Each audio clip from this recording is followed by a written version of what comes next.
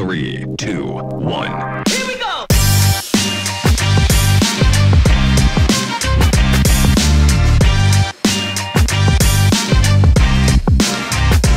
Hello and welcome to Nucor Steel, Louisiana. For more than a decade at our facility on the banks of the Mississippi, we have been safely building the foundation for a sustainable future by producing high quality direct reduced iron. As part of the largest steel and steel products manufacturer in the United States and the largest recycler in North America, our St. James Parish, Louisiana facility is integral in Nucor's raw materials strategy. Our highly skilled workforce uses cutting edge technology to manufacture this essential raw material for advancing sustainable steelmaking. Our natural gas DRI process emits about one third of CO2 compared to iron produced in blast furnaces at integrated steel mills. We're committed to ongoing enhancements to further reduce our environmental footprint. We are proud to be a part of this Louisiana community and to contribute to its economic growth and development. Our commitment extends far beyond our plant's operations to supporting local initiatives and creating opportunities for our neighbors. Thank you for taking the time to learn more about Nucor Steel Louisiana. We are excited about the future of our role in advancing steel industry sustainably and responsibly.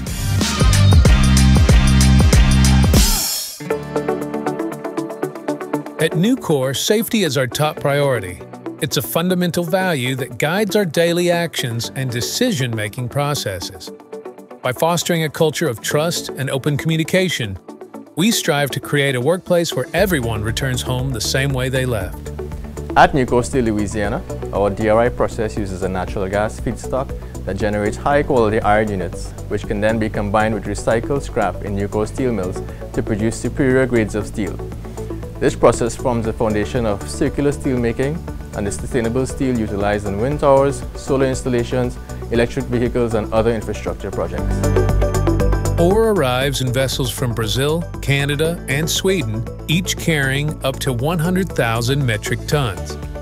Once at our port, the ore is transferred via a mile-long pipe belt to our ore yard, which can store up to 800,000 metric tons. The ore is then transferred by a conveyor to undergo the dry screening process. This step ensures only the desired size pellets proceed, while fines are screened out to optimize reactor performance. Screened ore is stored in day bins, each holding 4,500 metric tons and usually one type of ore. We use weigh belt feeders to create the optimal feed mix based on ore chemistry, market conditions, and upcoming shipments. The ore undergoes another round of dry screening followed by wet screening. The wet screeners use water nozzles to wash all the microfines to allow the pellets to smoothly flow through the reactor's charging system.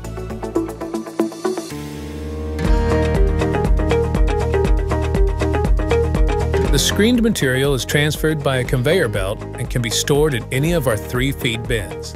From the feed bins, dry cement is added to iron ore pellets to protect them from high temperatures in the reactor.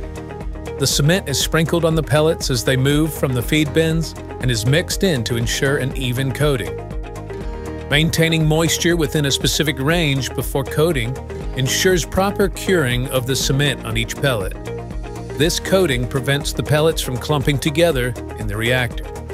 Cement-coated pellets are stored in a set of two surge bins for curing, then transported by a vertical-walled pocket belt to the reactor. The reactor receives iron ore through a series of valves functioning as a pressurized lock hopper system, preventing the entry of air into the reactor while allowing the flow of ore. This system operates automatically and is equipped with sensors to ensure compliance with pressure and level requirements before ore loading. Ore is introduced into the reactor's interior via feed legs. As the ore descends into the reduction zone, it encounters hot process gas flowing counter-currently. The process gas is a mixture of methane, along with hydrogen and carbon monoxide, also called syngas. The methane interacts with the catalytic iron bed and reforms steam and carbon dioxide, which yields the carbon monoxide and hydrogen in the following reactions. The carbon monoxide and hydrogen then remove the oxygen from the iron ore, producing a purer form of iron.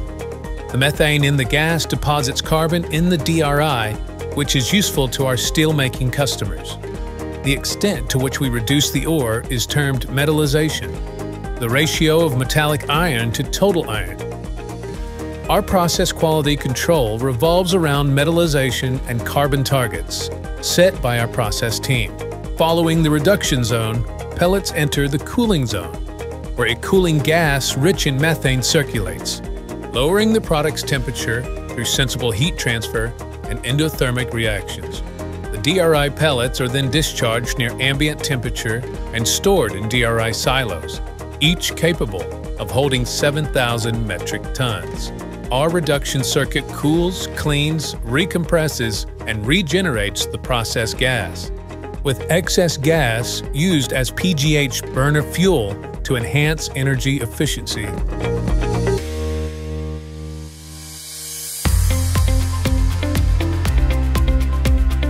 After the compressors, CO2 is removed from the process gas via the absorber. Natural gas makeup is added and then goes to the heater to be preheated.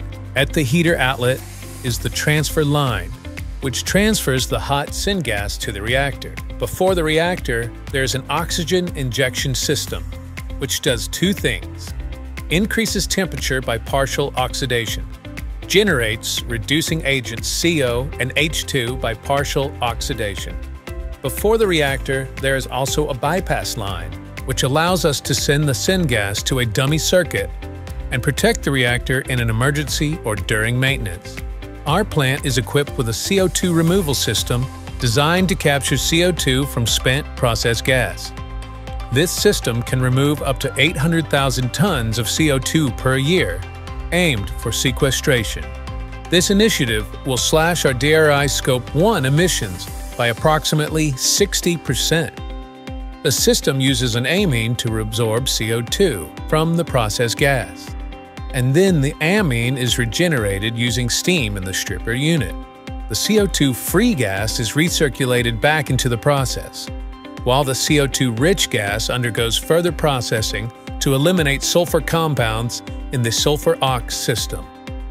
Our briquetter uses agglomerating techniques to bring fine particles that are screened from our DRI to create briquettes. Through screening and dust collections, we generate about 250,000 metric tons per year. We utilize this technology to turn this into a value-added DRI product. The silos serve two main purposes, storing DRI material before shipping and passivating it. Each silo has a capacity of 7,000 metric tons and is used to hold DRI pellets and briquettes for 60 to 72 hours. During storage, the atmosphere inside is made inert with nitrogen and a small amount of oxygen present. This oxygen reacts to form a thin protective oxide film on the pellet's surface, enhancing their stability for shipping. This process is known as passivation. Finally, the silos are loaded out and the DRI undergoes another screening before being transferred to the pipe belt. From there, the product is metered into barges using telescopic chutes.